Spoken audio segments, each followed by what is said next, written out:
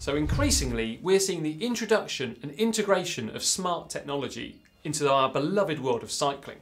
Uh, some of these things we raise an eyebrow at, whereas others we actually stop, look and listen and really get intrigued by them.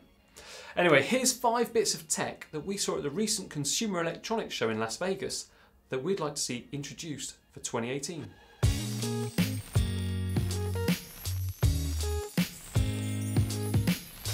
Technology around automated self-driving cars is really gathering momentum and at the show we saw introductions from Hyundai, Nissan and in particular this from Ford.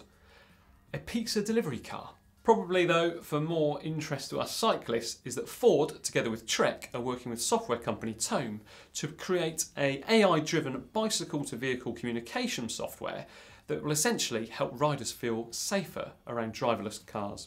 Now it's intended for the system actually to be open source, allowing other companies to add to it as that system develops. Now another hot topic is e-bikes. Gone are the days of those aesthetically damaging batteries and bikes that handled like tanks. Companies are now putting in some serious research and investment to develop this potentially revolutionary area. Seattle Cycles, they revealed their folding e-bike uh, with a battery life of up to 50 hours and the weight is just 30 pounds. So about 13 kilos. Millions of multi-transport commuters take note.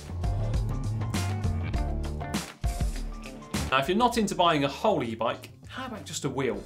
Electron's angle is that you can turn a normal bike into an e-bike in just 30 seconds. Pop the front wheel in and the range is up to 50 miles and the top speed is 20 miles per hour.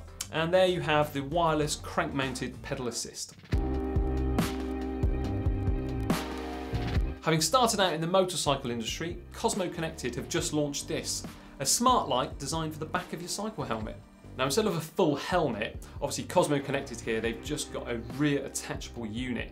Uh, together with the smartphone app, you can actually indicate manually as well as importing a GPS route of your ride and it will automatically indicate for you.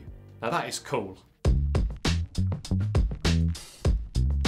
So wearable tech now, and one which is of particular relevance if you ride like in hot or sunny climates. So global beauty brand L'Oreal have been working together with Fuse Project to create this, a sensor that alerts you if you're overexposed to harmful UV rays. Now the incredible thing about UV Sense is that it fits onto your thumbnail and doesn't actually require any batteries. Release date is due for mid 2018 in the US and the rest of the world is set for a year later.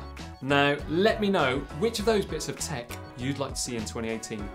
Let me know in the comments. Remember as well to like and share this video with your friends and subscribe to the GCN Tech channel. Click on the logo right now. And for two more great videos, how about down here for Peter Sagan's Pro Bike and for Tour Down Under Tech, click down here.